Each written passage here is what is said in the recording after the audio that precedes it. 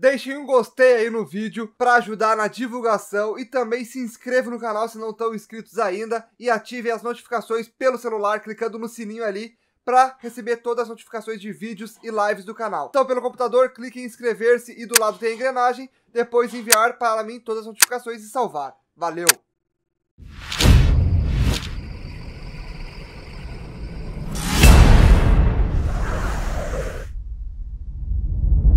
Tag Games de volta! Então, gurizada, dessa vez aí, um vídeo de The World of Resident Evil 7. São os dois últimos vídeos lançados aí dessa série, que são o volume 9 e o volume 10. Eu vou estar mostrando aí, primeiramente, os dois teasers, e depois que vocês assistirem, eu já vou estar comentando e analisando cada um deles. Então, vamos ver os teasers.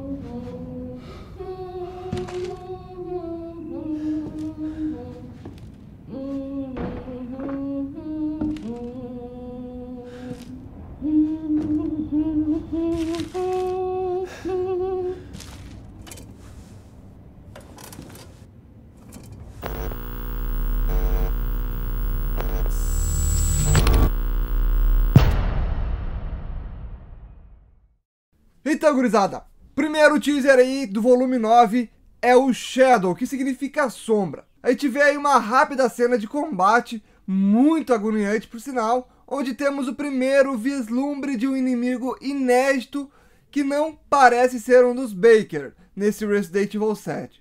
E sim uma, uma criatura infectada por algum vírus que não sabemos ainda qual é. A criatura tem uma aparência parecida de dois inimigos que já enfrentamos em Resident Evil anteriores. O primeiro é o Lich Zombie, que era a mutação uh, de, de, um de, tipo sanguessugas com a aparência de James Marcos em Resident Evil 0. E também parece muito com os Regenerators, que vocês lembram muito bem aí do Resident Evil 4. E sabemos muito bem que são inimigos bem complicados de derrubar e matar. E pelo que vemos nesse pequeno teaser de Resident Evil 7, esse inimigo vai dar muita dor de cabeça também.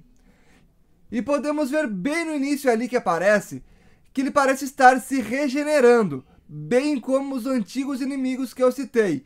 E ele também anda bem lentamente, porém na hora de ele dar o bote, ele vem com muita sagacidade para cima e parecendo não ter jeito de se esquivar. Então serão uh, inimigos, não sei se só um ou se vai ter mais, mas parece ser inimigo aí bem forte nesse Resident Evil 7 e que a gente vai ter que ou correr ou dar muito tiro para derrubar ele. Agora então indo para o segundo teaser, que é o volume 10, que é o último teaser desse uh, Resident Evil 7, desse The World of Resident Evil 7, que é o Haunted Road, não sei se eu pronunciei certo, enfim, significa a tia rouca, não é a tia louca, é a tia rouca, rouca da voz, entendeu? Então, onde aparece o nosso personagem Ethan subindo as escadas da mansão, que por sinal é uma escadaria bem suspeita ali, não parece ser uma escadaria uh, de uma parte que já jogou, uh, parecendo um porão, que na demo do Tape 2, ou to, to Light, Uh, onde conseguimos uma chave para o porão, porém a gente não consegue encontrar o bendito do porão para abrir e para entrar, né? Então, quem sabe seja esse o porão, seja ali a escadaria da saída do porão, então a gente poderia estar saindo dele, quem sabe? Então, e onde o inimigo aparece lá anteriormente, naquele teaser do volume 9 que eu mostrei agora, parece ser um lugar bem escuro e com a aparência de um porão também. Então pode ser que seja no porão onde apareça aquele inimigo. Não sabemos nada concreto ainda, mas são especulações, rumores e boatos. Então, enquanto a gente vai subindo as escadas ali, vocês percebem que está, a gente está ouvindo alguém cantarolar. E ele vai seguindo essa voz que está cantarolando uma canção. E chegando lá em cima, ele vê uma senhora sentada numa cadeira de rodas antiga, cantando. Porém, quando uh, ela percebe a chegada do Ethan, ela para na mesma hora de cantar e olha diretamente para ele e podemos ver que a senhora ali sentada é Camille Baker, que ainda não foi confirmado o, quem ela é, o que, ela vai fazer aí no Resident Evil 7, mas acreditamos que ela seja uh, a mais idosa, a mais velha aí da casa, que seja mãe uh, ou de Marguerite Baker ou do Jack Baker, de um dos dois. Ela é uma senhora idosa que tem também muitos boatos que pode ser ela aí uh, dona dessa mansão, seja ela também pode ser tem algum envolvimento com Spencer ou George Trevor lá dos antigos Resident Evil, do, donos da mansão, né? Então uh, pode ser uma dessas especulações, porém nada confirmado ainda, mas já mostrando bem uh, focado nesse teaser a Camille Baker e que tudo indica que ela será mais um inimigo do jogo que será bem perturbador, dando vários momentos de agonia e sustos no game. Então no final desse último teaser a gente vê ali dezembro uh, tape 3, ou seja, tudo indica que teremos em dezembro mais uma demo, mais uma atualização da demo do Beginner Hour que seria a do Tape 3. Então, aguardamos ansiosamente por, pelo dezembro, que vai ter mais uma demo que eu espero aí que seja mais completa possível, que a gente possa usar a arma, possa ir no porão e tenha realmente aquele, aquele gostinho do Resident Evil 7, uh, de todos esses teasers que a gente já viu, que a gente possa fazer tudo. Fazer puzzles, uh, dar tiros e encontrar alguns inimigos. Claro, não vamos jogar o jogo completo, mas que tenha nesse último teaser aí, que tenha bastante coisas que a gente já viu nesses uh, teasers da série The World of Resident Evil. Então aguardamos ansiosamente. E a Capcom também anunciou que vai sair aí a demo para o PC. Que já está nos planos, ainda não tem data uh, concreta, porém a Capcom já disse que está nos planos. Uh, então, depois da, da, empresa receber inúmeras perguntas sobre a, de, a, demo na Steam, um dos gerentes da comunidade da Capcom finalmente deu um parecer sobre a situação. Segundo a W Bacon, a demo de PC chegará. No entanto, ainda não é possível estipular uma data precisa.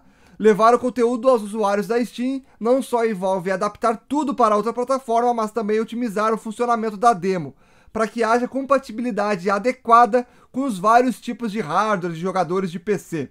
Um dos principais problemas uh, envolve proteger os dados da demo. Demonstrações de PC costumam ser analisadas extensivamente por data miners, que extraem informações de arquivos e assim acabam revelando spoilers do jogo.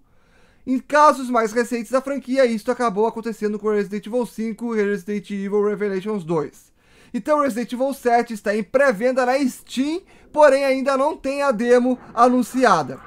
Então o vídeo vai ficando por aqui, espero que vocês tenham gostado, deixem aquele gostei se vocês gostaram, se inscrevam no canal, comentem e assistam os outros vídeos que estão na descrição dessa playlist maravilhosa e quando sair mais vídeos, mais teasers, mais novidades, mais notícias, mais gameplays, eu vou estar trazendo. Então aguardem, forte abraço a todos e falou! E galera, jogos digitais é com a Game On Digital Store. Lembrando aí vocês, PES, FIFA e qualquer outro tipo de jogos de PlayStation 4, PlayStation 3, vocês vão encontrar lá. O WhatsApp vai estar aparecendo aí na tela e também vai estar na descrição. Entre em contato. O nome da loja é Game On Digital e vocês vão estar falando com o Paulo. É só vocês entrarem em contato com ele e falar que vieram pelo NoTag Games que vocês vão ganhar um super desconto nos jogos tirem as informações diretamente com ele e aproveitem os ótimos preços.